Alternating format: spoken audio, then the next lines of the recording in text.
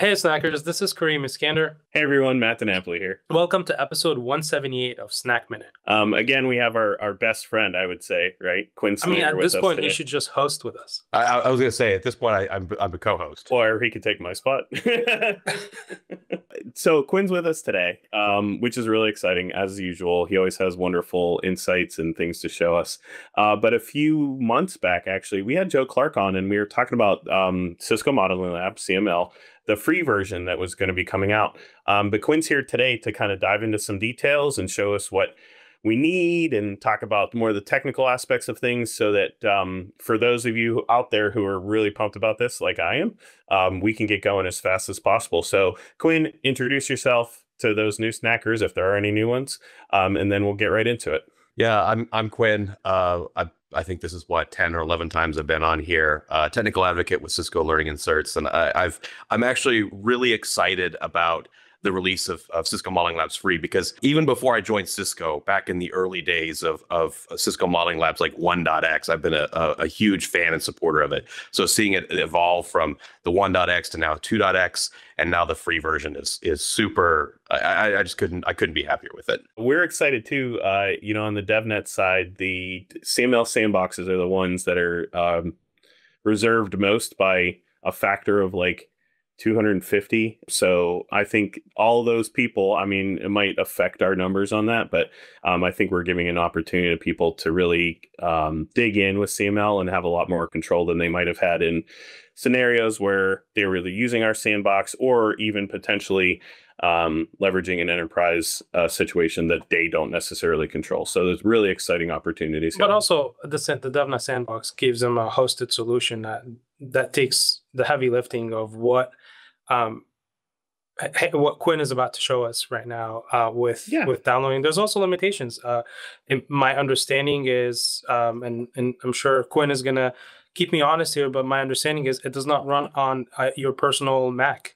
Uh, so you need to have a PC, and if that's the case, then you know DevNet Sandbox is a solution for you. But Quinn, with what I just said, clearly there are a lot of things that you need to know and understand in, in order to successfully get CML free installed on your system.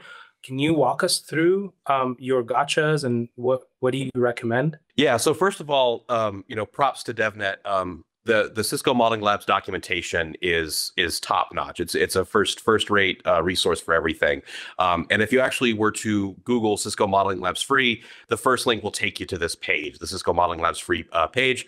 Um, so first of all, in order to install it, you have to get it right. So there's a free sign up link where you will uh, input your information into uh, a registration page, and then you'll be given access to the Cisco Modeling Labs uh, installation um, available through our typical Cisco software download process. Um, couple of things. Uh, that come with that. So the the, caveats and, and everything is covered in the documentations. The big thing is is, is to your point, Kareem. Uh, it, this is just a virtual machine that requires x86 virtualization. So the the platform needs to be running x86 and then be x86 compatible for the vert uh, side of things because you're running you know VNFs, virtual network functions, right? Um, so you need to have an Intel based system. Uh, you can run it on your laptop if your laptop is Intel based. So it supports uh, all of the major virtualization pieces. So you can run it within uh, VMware Workstation. You can run it in ESXi. People have supported it in uh, Proxmox, and, and there's a whole community that's available out there to support that. But yes, you do need x86 processing power, first of all. Um, it is installed just like any other VM. Uh, so you need to be familiar with your virtualization system in order to install that. You have either an OVA or an uh, ISO to, to install that. Um, you'll be given two ISOs. One is the actual platform, and then one is the uh, what they call the ref plat or the the reference uh, ISO for all of the images that are there. So you're going to need both of those because you need to have the the Cisco Modeling Labs platform and the the images to run the the virtualized images, the VNFs to be able to simulate your network. So you'll need both those ISOs. You'll need, you know, and uh, like I said, all the documentation here of how to install that, the downloading CML free, installing CML free, it's all available on the the developer uh, docs. If you were to, to just search for that, I'm sure we'll have that linked in the in the notes as well. The other limitation behind that, uh, and and I can touch a little bit more on this, and uh, when we do a little bit of a of a demo with it, is uh, only five concurrent nodes are supported is running at any one time. Joe had mentioned that. Uh, and a node is anything that requires computing uh, power. So you have um, uh, whether it's a router, a switch, a virtual desktop. That's you know you have you can run five concurrent nodes at a time, um, and you're only given a small subset of the total images. So you talk about what's available with uh, the DevNet Sandbox, where you have lots of different images that are available. With the Cisco Modeling Labs Free Edition, you only have access to the uh, IOL, so IOS on Linux, uh, IOS or sorry IOL L2, so uh, layer two image, so a virtual switch basically, uh, ASAV, and then a couple of VMs that simulate desktop hosts. So you don't get the full suite of everything, uh, but you get quite a bit of, of different nodes and, and, things that you can use to simulate different projects, especially in that associate to professional level, CCNP, CCNA. Uh, this is more than sufficient excuse me, more than sufficient for that. So we have kind of talked about what we can't do with it and the limitations. Let's actually see what we can do. Quinn, I know as usual you probably have a demo to to show us some cool stuff. Um, why don't we take a look at that? Yeah. So so first of all, again to Kareem's point, this is I, I run an, an, an uh, M series Mac uh, so I can't run this natively. I do have uh, this running uh, just to show you kind of the whole Rocky and Bullwinkle, nothing up my sleeve. I'm not hiding anything. I am running this in a server that's sitting in my garage baking right now in the in the Phoenix heat. How do you keep that thing cool, man? uh, it, it, it goes off. It, will actually be turned off probably in the like like next three weeks when it uh, when the uh, garage becomes an oven. Um, but until then, I get to do this demo. He puts a fan on his bike and he just rides. He rides on his bike and he cools it off while he's typing. My visual is he has it racked in his fridge. in his deep freezer where all his meat is. Yeah, exactly. Yeah. so you can see it is on that .172 address. And this is just an example. So I have a couple of different labs pulled up. One of the things that you will see when you go to when you actually have it installed and you go to the web UI within Cisco Modeling Labs, you'll see that it is indicating a, a free tier. So it will it will show you that you are running free tier. So you can't like take a ref plat from another version and try to install it. This is is locked down. So you you're only allowed the five nodes and and the the node types that are there. However, and I'll just pull up my dashboard here. There's a lot of a variety of things that we can do with it. So all of these uh, topologies are ones that I have built inside of, of the lab itself and are supported. Uh, so you can see this one, I've got three desktops that are simulated with a core switch, and I'm doing some OSPF here, different VLAN. So I'm doing some SVIs and some VLAN routing. So that whole multi-layer switching and some OSPF routing that's covered in the CCNA. Um, and then I also, I want to point out that this, this, even though it's the Cisco Modeling Labs uh, free version is restricted to the types of nodes, under the hood, everything else is is still the same. So, like these uh, dynamic um, annotations that are there, that's supported.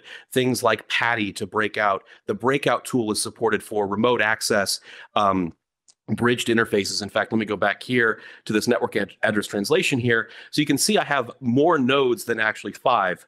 Uh, well, more icons than five on the screen. However, things like this unmanaged switch and the and the the, the breakout here uh, that allows me to connect my topology to my external network, uh, those are uh, don't count under my node limit. Um, only the, the only things that count are my routers and switches and uh, my virtual firewall. Uh, I don't know if I mentioned that earlier. You get access to the ASAV as well.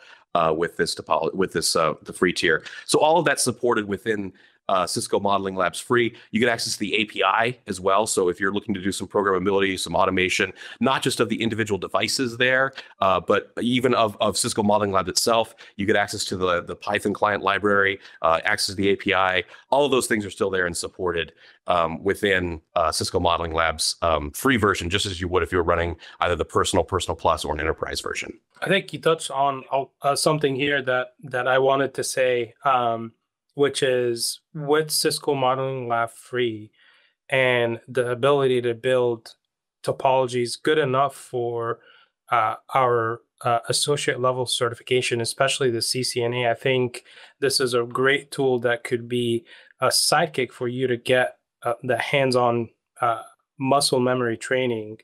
Um, that you need for to pass the CCNA. So um, it's a great resource to have. It's good to have um, as part of your your studying, we've also, I think, uh, Quinn and I worked on a set of uh, Cisco U tutorials that allows you to leverage the CCNA, that allows you to leverage the Cisco Modeling Lab free with topologies to import that. So you could do the tutorials that are all centric around uh, CCNA and and then you can actually get the hands-on training with uh, CML free. So it's a great resource for uh, for for learning and and one other piece behind that, Kareem. So in addition to having the the being able to support all of the things that are required in the CCNA blueprint, so your multi-layer switching, your spanning tree, your OSPF, your NAT, your services, even to the point where we can test things like, for example, if I wanted to log into this device remotely. So just to show you, I have this broken out. So there's an external port that's connected to that breakout on that 192, 168, 128, 247.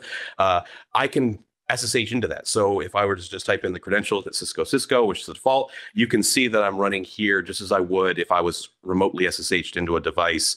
Um, uh, you know, running uh, you know a real router or something in, in the enterprise version.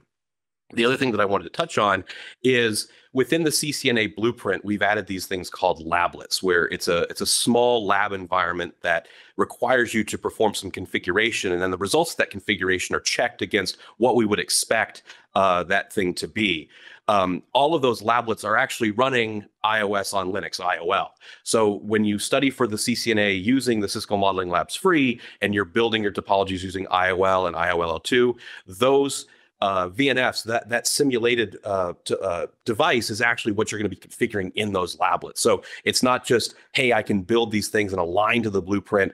I can actually take, um, and I'm running on the same operating system versions, the same operating syntax. Everything is the same as what I was expect in the lablets on the CCNA and CCNP uh, uh, blueprint. So it's it's it uh, meshes in very well uh, with the entire uh, certification strategy and studying and all those different kinds of things as well. This is fantastic. Um, I mean, I know I was excited when Joe talked about it, but the thing that I've always noticed from the learning community is just challenge in getting access to things. For as many opportunities as we've tried to give, there's always limitations and barriers that we're hitting. And you guys have broken down a big one right now with us. Um, and I think that uh, you're going to see a lot of good feedback from the community on all of this. And, you know, I'm thinking about all of those NetAcad students that are probably salivating, so excited that they can get their hands on CML without having to you know set a reservation or pay a bunch of money um, this is this is going to be an invaluable tool. And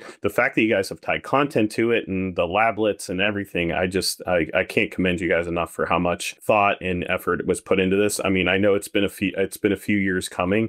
It's really really exciting to see it out the door now. Yeah i, I second that. I, I think the team did a, a really good job um, having that out as a resource for our community for free um, it's it's very valuable. Quinn was there anything else that you wanted to cover as far as the installation and getting that up and running no, I mean, so so the installation, like I said, the, the documentation is there it, as long as you're familiar with how you install virtual machines. So if you've installed a virtual machine uh, on your on your Windows PC or your Intel-based Mac or your or your hypervisor, it's it's the same as you would do there. The instructions are great. So you know the install, they actually have you know here's the installation guide, here's links, here's all the things that you need to do. Um, that's great. You know, there's a there's a vibrant community. There's uh, you know there's the the CML community available on GitHub where they have different topologies that are posted and and message boards and and issues and things like that. There's a ton of support there.